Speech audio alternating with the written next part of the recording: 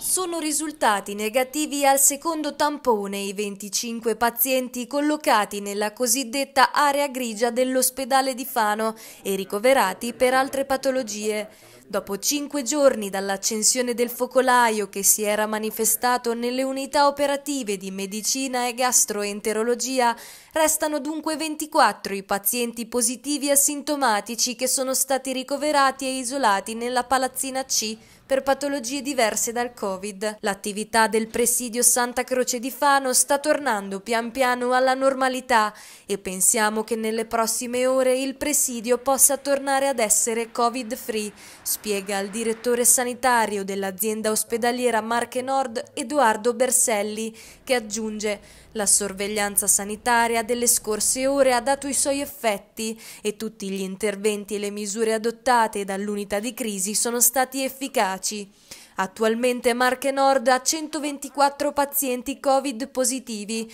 di cui 100 ricoverati al San Salvatore e 24 a Fano.